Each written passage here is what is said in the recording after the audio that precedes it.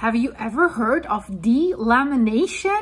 Yeah, I'm not talking about your house falling apart or your RV or your wood um, cabinets or something like this. I'm talking about a hidden geophysical phenomenon, the delamination of the Indian plate. What is this, guys? And it could cause serious problems for India because the Indian plate has been colliding with the Eurasian plate for about 60 million years. And this is also the primary force behind the Himalayan mountain range, just by the way. But we have recent new studies, and that is really oh, strange, that suggest a surprising new development. So a portion of the Indian plate is undergoing delamination. So how can a plate have delamination? So there's a dense lower part of this plate that is detaching. Like really, like if your RV wall or wood cabinet wall is delaminating, it's really happening. And then it's sinking beneath the surface.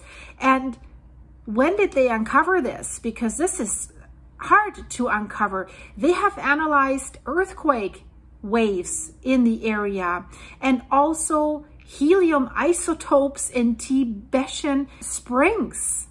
So interesting. And then you have to make the connection, but they did make this connection and it has revealed a vertical tear in the Indian plate that had not been detected previously. So let's look into this. What is this, guys? So what geologists are saying, and we know that about Africa, but now India is splitting in two and geologists are warning of major tectonic shifts. And we always know what happens if there's major tectonic shifts. There's usually major earthquakes as well. So what is this, guys? The Indian plate is splitting into two parts and delamination seems to be the factor. And it's a phenomenon that could reshape the region's geological landscape forever.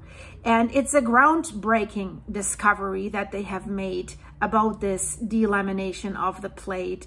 Um, it's really, it's peeling apart. The plate is peeling apart and then it's sinking into the mantle of the earth. And this could have a long-term consequence for earthquake hazards and of also our understanding of plate tectonics because delamination has never played a role before. A geodynamicist, I haven't even heard that this exists, at the Utrecht University, his name is Douw van Hinsbergen, has given a comment to this phenomenon. He says, we didn't know that continents could behave this way. And that is for the solid earth science pretty fundamental, groundbreaking. And he says further, this finding of the delamination is fundamental because it suggests that not only does the plate have a varying thickness and varying characteristics across its surface, but the underlying process that is driving these tectonic shifts seems to be much more dynamic and complex than they previously thought and than the science previously taught and understood. So of course, this delamination process could have significant consequences for the earthquake activity in the region. And tectonic plates in regions of high compression, like we have here in the Himalayan collision zone, often exhibit multiple tears. And these tears can influence the stress buildup. And we know if stress is building up, if a lot of stress is building up, it is released sooner or later in an earthquake. The Tibetan Plateau, this is a region and we just had an earthquake in that region. Um, it's already prone to seismic activity, so that's not new for that region, but they could experience even more instability because this research has found that the delaminated section of the Indian plate might cause shifting stress points that could result in very powerful seismic events. For example, the Cona Sangri Rift. It's also, it's a deep fracture in the plateau. It could be directly tied to this ongoing tearing and that delamination process and therefore it is raising big concerns about the potential for a larger and also more frequent earthquakes in the region. So scientists but are also telling us that the available data, since this is so new, is still limited and that the full implications of this delamination process are not yet fully understood. They need to collect more data over a longer period of time.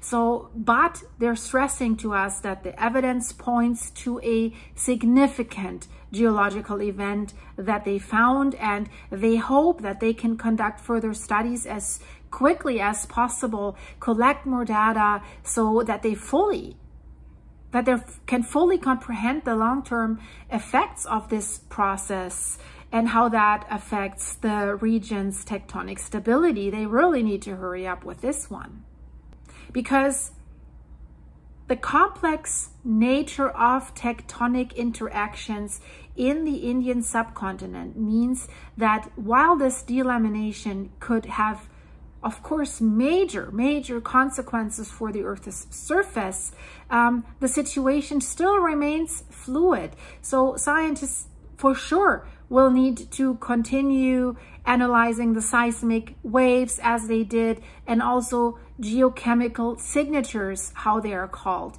so that they're able to track these tectonic changes over time and so that they really can assess the true scale and the earthquake threat. It might be bigger than they are estimating right now. And does this cracking of India's tectonic plate have global implications? That's the question that we're all raising. I'm sure you're raising that question, guys. At least I raised that question because the Indian plate is, is really, it's a critical component of the Earth's tectonic system. And that's why it's so important to understand its behavior.